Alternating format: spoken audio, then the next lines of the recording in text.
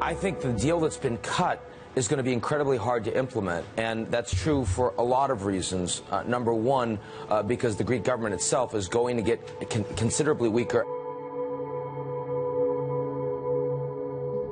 There is a lot of political will still in place to keep uh, uh, Greece in the euro area, and I think the bigger picture here um, is um, about the geopolitical risks. If uh, Greece leaves, uh, then that might mean that uh, uh, Russia might extend its influence into Europe, into the Balkans.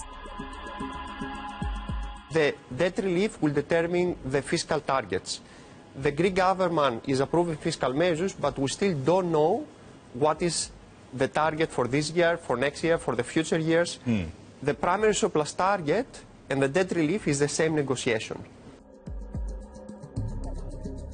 The majority of the Greek companies suffer, and we believe that it is uh, very, very basic for the banks to be reca- recapitalized as soon as possible and for the capital controls to be abolished, uh, I hope, within the next two or three months at the latest.